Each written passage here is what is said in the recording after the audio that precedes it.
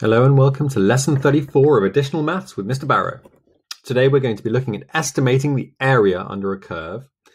Um, there are going to be two lessons on this. Lesson 34, we're going to be looking at estimating areas using rectangles and finding a lower and upper bound.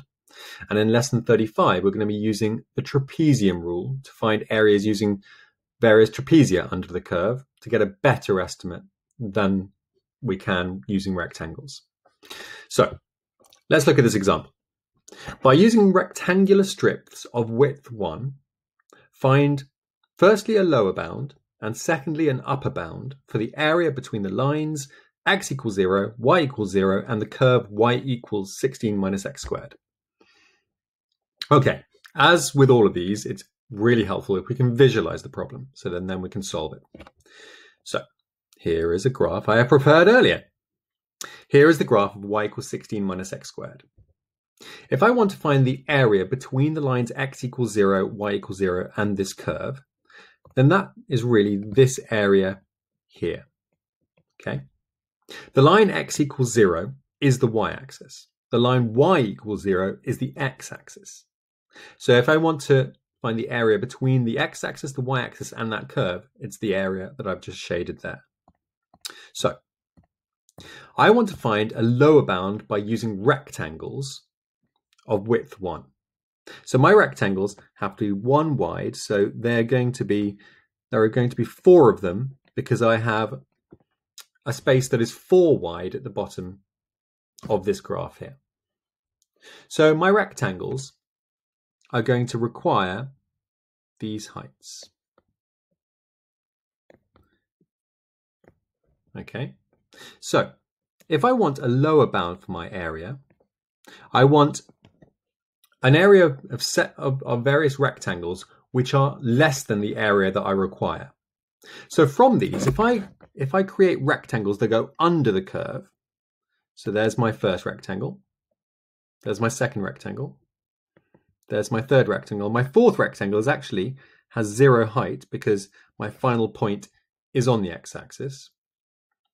So my four rectangles there create a lower bound for my area. I know those four rectangles, the total area of them is less than the area under the curve.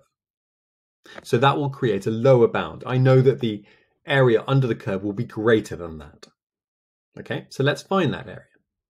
So we're going to call these area, area A for that rectangle, B for the second one, C for the third one, and D for the for the fourth one, which doesn't seem to have any, any height at all. Okay, so the area of A is equal to, well, area of a rectangle is the length times the width. The width we know is 1. And the length of this rectangle is basically the height of this rectangle. Now the height is not is the height at that point there. It's it's the value on the curve. It's the y y coordinate on the curve when the x coordinate is 1. So really it's the function done to 1. So if I substitute 1 into 16 minus x squared, I will get that y coordinate when x is 1. And that'll be the height of that rectangle A. So 1 times f of 1 will give me the area of A. f of 1, if I plug 1 into 16 minus x squared, I get 15. So this rectangle is 1 wide and 15 high, so it has an area 15 units squared. Area B is 1 wide, and it is the height of the curve when x is 2. So it's f of 2 high. If I plug 2 into the function, I get 16 minus 2 squared, which is 12. So I get 1 times 12. So that has an area of 12 units squared. Area C is 1 wide. It is f of 3 high because if I plug the x coordinate 3 into that function, I get the y coordinate, which is the height of the, of the rectangle at that point. So it's 16 minus 3 squared. So 16 take away 9. So it's 7 high. So it's 1 times 7. So it's 7 units squared. And area of D, poor D, is 1 wide. It's f of 4 high, but if we plug 4 into the function, 16 minus 4 squared is 16 take away 16, which is 0. So it is one lot of 0, so it is 0 units squared. So that then gives me the lower bound for my area. The lower bound for my area is the sum of those four rectangles. So 15 plus 12 plus 7, which is 34 units squared. Okay, so that tells me that my area that I wanted is greater than 34. Okay, so let's now find an upper bound, so an area that it's less than. So if I take the same heights at 0, 1, 2, 3, and 4, so I get this height, this height, this height, this height, and 4 there. And instead of going under the curve, if I go over the curve, so I start with the left side height, and I go across and down, across and down, across and down, and lastly across and down. Now, the area of those four rectangles is greater than the area we require. So this would give me an upper bound that I know that the area we require will be less than that. Okay? So just like before, I find the area of these four rectangles. So the first rectangle, rectangle A, is one wide. And this time, it's not f of 1 high because the height of the furthest left rectangle is has the left side meeting the curve.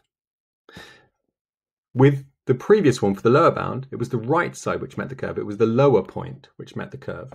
Here it's the highest point meets the curve, okay, and that's an f of 0, which is one lot of 16. So that's 16.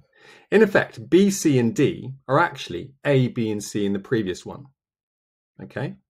because rectangle B is one wide, and this time we're going with the left side meets the curve, so that's f of 1.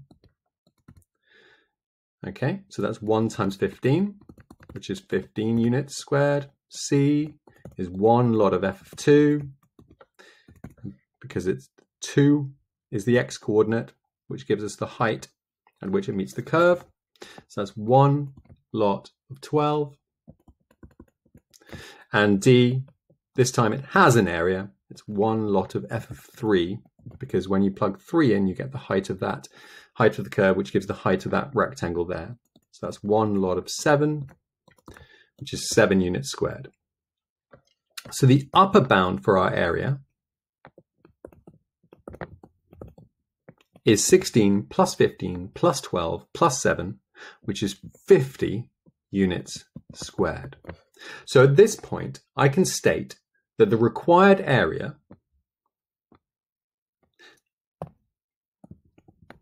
is between 34 and 50, between my lower bound and my upper bound. So 34 is smaller than the required area,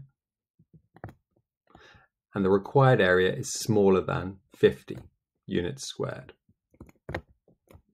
So that tells me that I know my area is between 34 and 50. So that helps me to narrow it down. There are better ways in which I can estimate it even further. I could have used more rectangles. I could have used rectangles of 0.5 width. That would have given me a better lower bound and a better upper bound. I could have used rectangles where they go through the midpoint between those two. And that might have been a better estimate. Okay, so I could have used rectangles, green the green rectangles that I'm going to show here, which go through the midpoint of the curve at each part. So the midpoint there is about there. So these green rectangles might have been a better estimate. So there are lots of different ways in which we can make an estimate, but these Lower bounds and upper bounds are about finding rectangles which are all below the curve and then rectangles which are all above the curve. And we know that our required area is going to be between them. Okay, so have a go at this question here, which is very similar. I want you to use three rectangular strips, each of width two. Okay, before we used rectangular strips of width one. So now your rectangles have a width of 2. I want you to find a lower bound by using rectangles which are all below the curve, an upper bound which by using rectangles all above the curve, for the area between the curve y equals 64 minus x squared, the x-axis, and the lines x equals 1 and x equals 7. So not using the y-axis as another boundary. So you need to draw vertical lines at x equals 1 and x equals 7 to, to create a section of the area below the curve that you want to find the area of. Okay. Pause at this point if you don't want any other help. But I'm going to show a diagram showing this curve and showing the area you want, which might help you if you are a little bit stuck. Okay. Pause at this point if you want to have a go without any of that help. Okay. Showing a little bit of extra help. This question is asking for the area under the curve y equals 64 minus x squared, which will look like that curve there, between the lines x equals 1, that should be a line, not a curve, and x equals 7. So it's asking for this area here, or an estimate for it, or a lower bound and an upper bound for that. Okay, so at this point, if that if that um, diagram has helped you, now pause, have a go, find the lower bound, find the upper bound, state what the required area is between. If you want a little bit more help, the rectangles you want will have these heights. f of 1, f of 3, f of 5, and f of 7. You've got to think about which ones will give you the rectangles which are above the curve, which ones will give you rectangles which are below the curve. Okay, I'm going to go through the answer now. So the lower bound area is gained by creating these three rectangles, each of width 2, as we asked for. So A has a width of 2, so the width there, and the height is f of 3, because that's where the lower point, which meets the curve. So that's 110. The next one is 78. Next one is 30. So the lower bound area is 110 plus 78 plus 30, which is 218 units squared. So that is the lower bound. The upper bound also has widths of 2, but here we're using the higher point of the curve for the rectangle to give us an upper bound for the area. So the areas are 126, 110, and 78 for our rectangles, which gives us an upper bound area, if we add those together, of 314 units squared. So our answer is that the required area is between 218 and 314 units squared. Okay, so that is what the required area is between. So it'll be somewhere in that region.